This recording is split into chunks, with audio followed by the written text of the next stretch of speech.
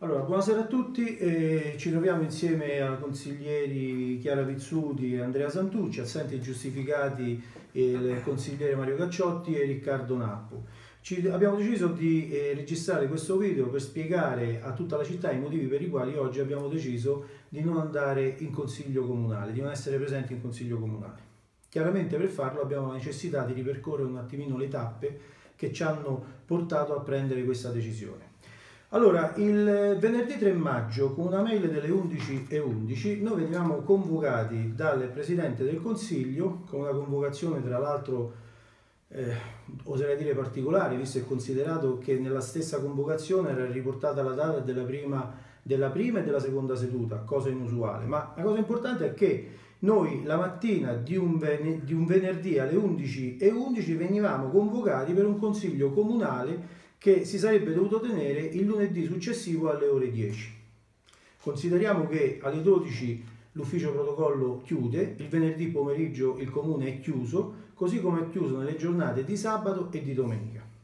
Chiaramente noi in particolare eh, abbiamo la necessità nel momento in cui veniamo convocati di avere del tempo a disposizione per organizzarci il nostro lavoro, perché come abbiamo già detto nel comunicato stampa, eh, noi dal nostro lavoro comunque dipende il lavoro di altre persone. Ecco perché la mattina del, del 6 insieme al consigliere Santucci ci siamo recati con urgenza dal eh, segretario generale, il dottor Andreone, rappresentando un, un'istanza, o meglio la nostra richiesta di bloccare quell'iter di convocazione perché ritenevamo non giusto e non corretto eh, convocare il Consiglio Comunale in questo modo richiesta di annullamento della convocazione che però non è stata presa neanche in considerazione, visto che si è proceduto come previsto alle, alle ore 10 ad aprire il Consiglio Comunale all'appello dei consiglieri per la verifica del numero legale.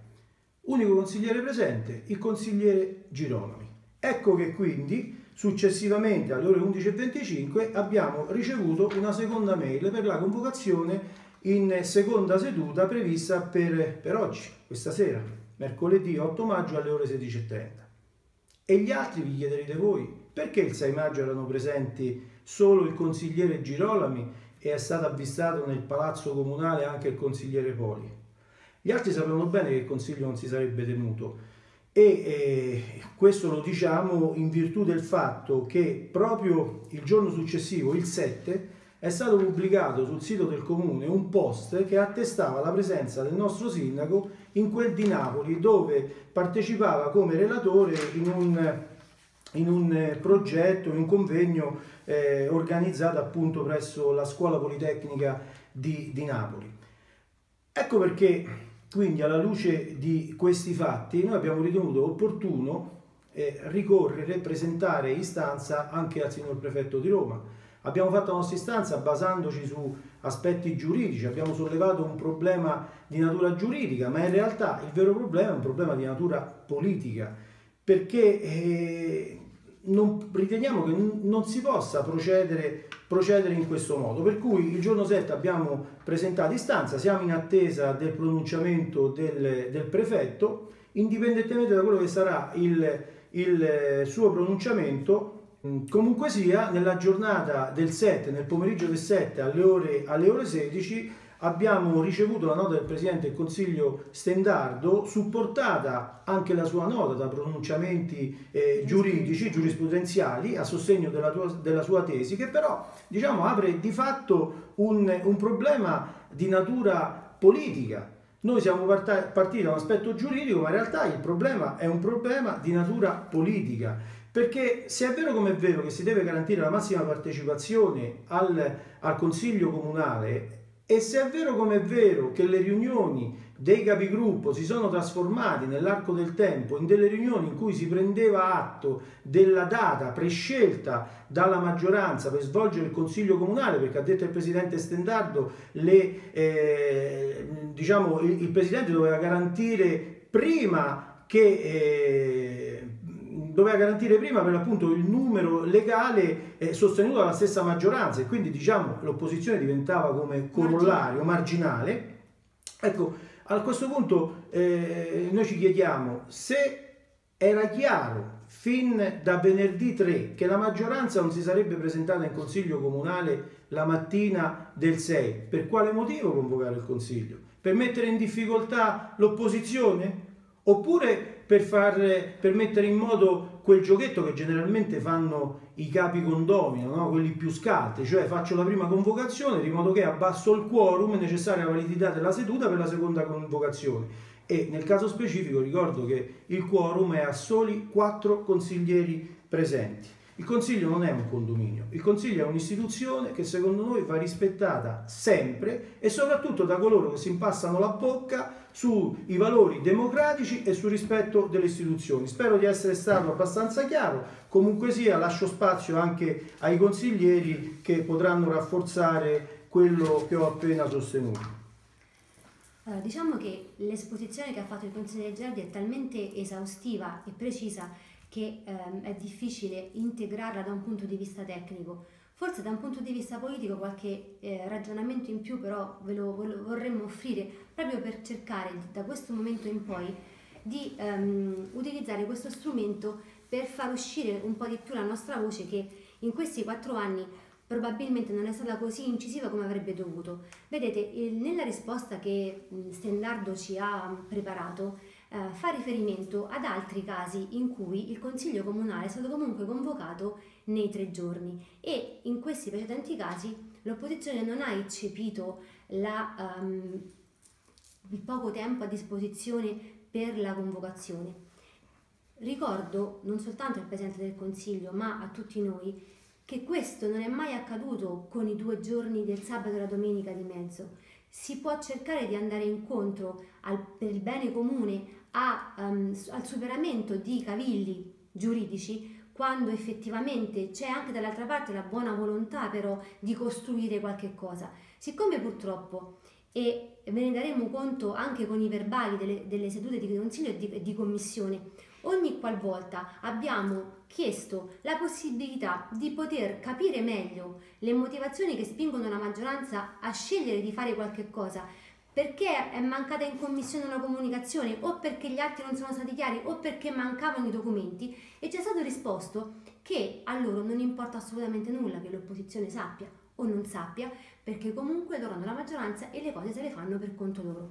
Ecco perché è cambiato anche il nostro atteggiamento, ecco perché ed è facile chiacchierare e bladerare di democrazia, di partecipazione, di um, uh, uh, aspetto corale delle decisioni, quando in realtà non siamo mai messi in condizioni di poter dire la nostra e soprattutto quello che noi diciamo molto spesso viene anche deriso e questo è indice proprio di mancanza di rispetto. Quindi noi siamo um, stufi di questo atteggiamento, abbiamo uh, deciso di non um, soprassedere più, abbiamo deciso che le volte che siamo rimasti in commissione per garantire il numero legale, anche quando la maggioranza era assente, perché pensavamo che fosse utile comunque anche per noi stessi comprendere alcune questioni, siccome questo non viene apprezzato non avverrà più.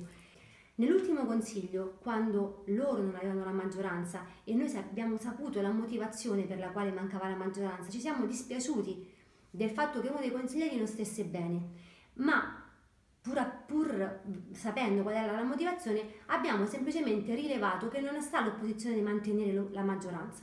A differenza loro, la volta precedente, quando era assente l'opposizione, nessuno si è posto il problema che forse qualcuno di noi potesse avere una medesima situazione o una situazione eh, ehm, anche più grave.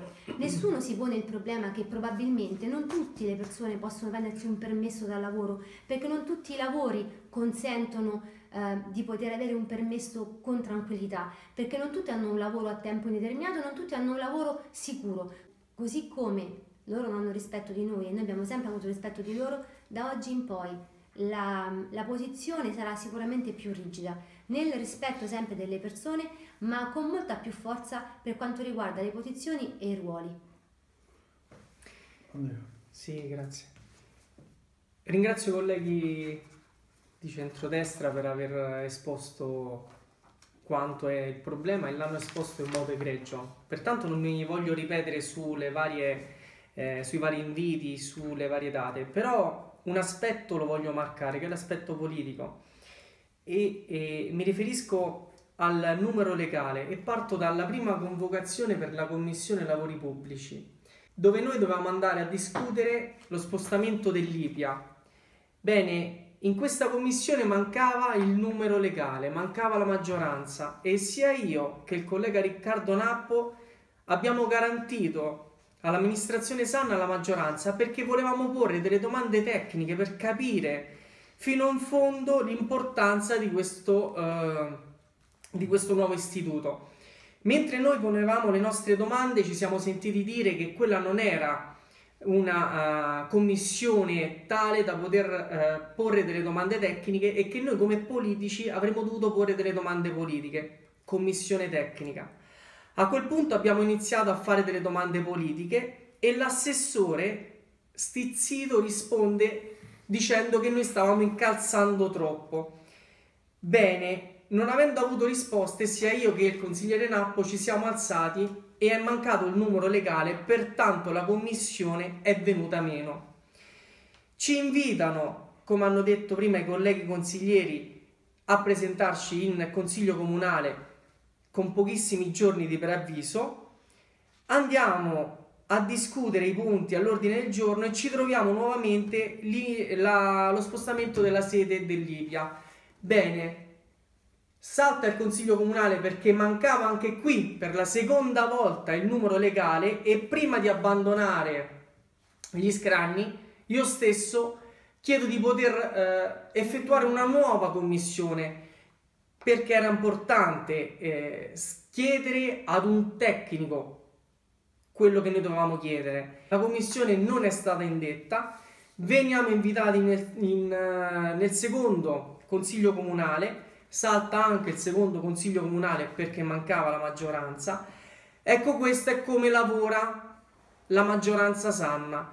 Lavora talmente bene a compartimenti stagni che neanche loro sanno bene quando è il caso non è il caso di fare alcuni consigli comunali. Lavorano talmente tanto bene che poi usano le leggi per arrivare oggi a fare un'ultima uh, convocazione che è quella dell'8, quindi del Consiglio Comunale, dove bastano quattro consiglieri per approvare tutti i punti all'ordine del giorno che loro volevano approvare. Oltre al punto dell'IPIA, il quarto punto, approvazione statuto azienda speciale per la gestione della seconda farmacia comunale. Credo di poter parlare a nome di tutti i consiglieri di centrodestra che noi mai e poi mai avremmo votato questo punto perché questo punto vuol dire affamare l'azienda speciale.